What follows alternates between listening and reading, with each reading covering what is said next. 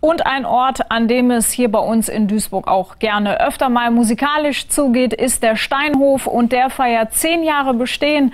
Und vom Steinhof begrüße ich heute Abend bei uns im Studio Arno Eich. Schönen guten Abend. Schönen guten Abend, Frau Deller. Schön, dass Sie bei uns sind. Äh, ja, zehn Jahre ist eine ordentliche Zeit, auf die Sie da zurückblicken können, wenn Sie da so ein Fazit ziehen. Ähm, wie fällt es denn aus? Die Zeit ist im Flug vergangen. das ist das eine. Vor allen Dingen, wenn man immer in die Zukunft plant und in die Zukunft denkt, nicht? Äh, durch den Kulturbereich bedingt, äh, dann, äh, dann lebe ich eigentlich immer so anderthalb Jahre im Voraus. Mhm. dann gibt es tolle Veranstaltungen, auf die man sich freut und dann sind sie schon da. Ne? So geht, vergeht die Zeit. Also von daher, von daher ein, eine sehr, gefühlt eine sehr kurze Zeit, zehn Jahre. Wenn Sie ähm, auch gerade so an die Anfänge denken vom, vom Steinhof, was, was sind da noch so prägnante Dinge, die Ihnen als erstes in den Sinn kommen? War wahrscheinlich nicht immer ganz einfach, oder? Der Start war überhaupt nicht einfach. Also wir mussten ja erstmal den alten Verein abwickeln, um überhaupt die Möglichkeit zu erhalten, äh, wieder ähm, ich mal, Kooperationspartner zu finden. Und da gab es damals über drei Millionen Euro Verbindlichkeiten. Also auch die Verantwortung dafür zu übernehmen, die ist da nicht so ganz einfach gefallen. Nicht? Und viele haben gesagt, seid ihr eigentlich bekloppt? Also das trifft jetzt auf Elke Sommer und mich in erster Linie zu, die wir da am Anfang dann eben als Protagonisten gewirkt haben. Ähm, und dann gab es aber Gott sei Dank, ähm, hat auch etwas gedauert, muss man sagen, über zwei Jahre. Nicht? Gut, den wir Weile haben, sagt Ja, ja, das ne? muss, muss man so sehen. Es gab aber auch Menschen, die wir überzeugen konnten. So. Und von daher an hat dann die ganze Geschichte auch Fahrt aufgenommen. Ja, hat Fahrt aufgenommen, weil äh, sowas baut sich ja auch nicht von selbst. Denn es war im Rohbau fertiggestellt, andere Teile waren zum Teil fertiggestellt, mussten aber wieder komplett zurückgebaut werden, weil der Brandschutz nicht gegeben war, weil bauliche Mängel da waren, also auch Fehler gemacht worden sind. Und äh, da müssen wir sagen, äh, da haben wir Glück gehabt, äh, auch durch bürgerschaftliches Engagement, äh, Spenden, Sachspenden, viele Sachspenden, Materialspenden, aber auch eben ähm, Partner hier in der Stadt, ähm, vornehmlich die GEBAG, auch der damalige Oberbürgermeister Adolf Sauerland, den möchte ich auch mal ganz positiv in diesem Zusammenhang erwähnen. Ähm, ohne den gäbe es den Steinhof nicht, muss man sagen, der auch die Möglichkeiten erkannt hat und der uns auch Vertrauen geschenkt hat. Und ich glaube, nach zehn Jahren kann man sagen, äh, jetzt oder das sind ja jetzt eigentlich schon zwölfeinhalb Jahre dann, nicht, äh, auch zu Recht. Wenn Sie ähm, so auf verschiedene Veranstaltungen blicken und auch so auf die Besucherzahlen, ähm, ist das so ein, ein, stetiges Auf und Ab oder ist es eher so, dass es bergauf geht? Wie, wie ist so Ihr Eindruck? Was würden Sie sagen? Also unser Ziel ist nicht zwingend immer ähm, ausverkaufte Veranstaltungen zu haben. Für uns ist es wichtig, ein ausgewogenes Programm anzubieten. Das heißt, ähm, möglichst flächendeckend ähm, verschiedene Geschmäcker zu erreichen und bestimmte Dinge abzubilden. Ähm, schön ist natürlich, äh, wenn es ausverkauft ist, gar keine Frage. Aber wir haben zum Beispiel vor einigen Wochen Tommy Engel gehabt, äh, ein, ein Konzert, äh, ein Gänsehautkonzert. Das Beste, was ich aus meiner Sicht vielleicht mit dem Steinhof gesehen habe, waren 250 Besucher da gewesen. Da sind wir mit dem blauen Auge rausgegangen, aufgrund unserer Ehrenamtlichkeit. Aber ich möchte da keine Sekunde vermissen. Ja. Wenn Sie ähm, jetzt auch noch mal ähm, ja, auf, den, auf den Platz blicken, den der Steinhof so zu bieten hat, ähm, das ist für ca. 900 Personen ausgelegt. Sie sagen gerade, verkauftes Haus ist für Sie jetzt nicht unbedingt ähm, zwingend ein Muss, aber was macht denn so aus Ihrer Sicht den Steinhof so besonders oder auch aus? Oder was sind so auch die Rückmeldungen der Besucher?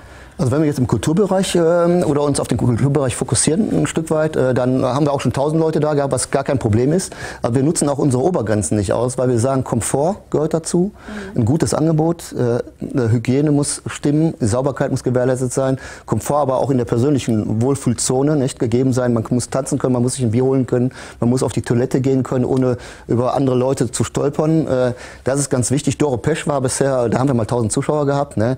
Äh, weil die kommt aus Düsseldorf, da haben wir so viel viele Anfragen gehabt, die so viele Gäste gehabt haben, wir gesagt, machen wir. War auch gut, gar kein Problem. Es passen mehr Leute in Steinhof rein, rein theoretisch, also zumindest von den Möglichkeiten her. Aber unser, wie gesagt, unser, unser, so breit wie wir aufgestellt mhm. sind, so breit wie wir aufgestellt sind, vom Kinderprogramm bis hin eben zu Seniorenprogrammen, ich will das mal ähm, so beschreiben, vom Comedy über Kabarett bis hin zu, ähm, ja, zu erstklassiger Musik auch. Äh, das macht es auch, das vermittelt auch die Freude.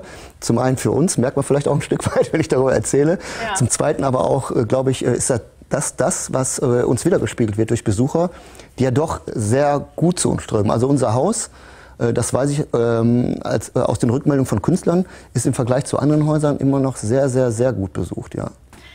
Wie ähm, erklären Sie sich denn auch, dass ähm, der Steinhof so ein, ein durchweg positives ähm, ja, ähm, Feedback bekommt? Also hat es auch so ein Stück weit mit der Location als solches zu tun, jetzt auch mal abgesehen von dem, von dem bunten Programm, was Sie bieten mit Vielfalt? Ja, also wir haben, wir haben die Location ja stetig weiterentwickelt. Also ich, ich sage jetzt mal auch in der Qualität weiterentwickelt. Äh, wir haben mittlerweile ganz viele äh, Veranstaltungen äh, für Firmen, Firmen-Events, wir haben Ausstellungen. Wir ziehen viele Kunden aus Düsseldorf auch als Duisburger Unternehmen, glaube ich, auch nicht selbstverständlich. Also von der Messe oder ähnlichen, äh, oder ähnlichen äh, Events ziehen wir eben Kunden nach Duisburg. Wir haben sehr viele Hochzeiten. Unsere Event-Location haben wir auch eine eigene Homepage. Die ist, glaube ich, super angeboten oder angenommen. wir haben kein, kein Wochenende mehr dieses Jahr zur Verfügung für Hochzeiten. Ähm, und in der Woche haben wir eben auch ganz große oder viele große Firmenkunden, die uns besuchen. Auch ganz wichtig. Das ist ein Aspekt, der sicherlich da eine Rolle spielt. Der andere ist, und das ist ein ganz wichtiger und war auch Triebfeder, den Steinhof überhaupt zu errichten, sind unsere Vereine.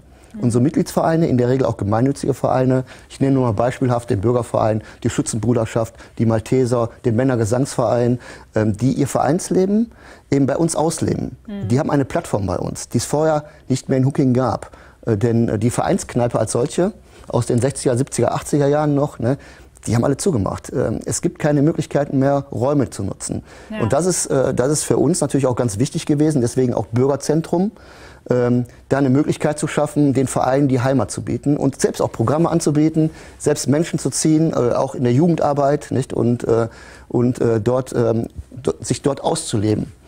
Herr Eich, ähm, jetzt haben wir eben so ein bisschen ja. über die, ich merke schon, Sie sind im guten Redefluss, das ist äh, auch ganz ja, großartig. Ich will natürlich nur versuchen, viel unterzubringen. Ja. Ähm, jetzt haben wir eben auch so ein bisschen über die Anfänge ähm, gesprochen. Hätten Sie denn jemals für möglich gehalten, dass sich das in so eine positive Richtung entwickelt, als äh, ja damals es sich ja auch noch sehr schwierig gestaltete? Ja, ich war immer optimistisch und auch positiv optimistisch. Ähm, ähm, wie gesagt, es waren, es waren eigentlich äh, immer Menschen und sind Menschen am Werk, ähm, glaube ich, die äh, von ihrer Seriosität her belastbar sind.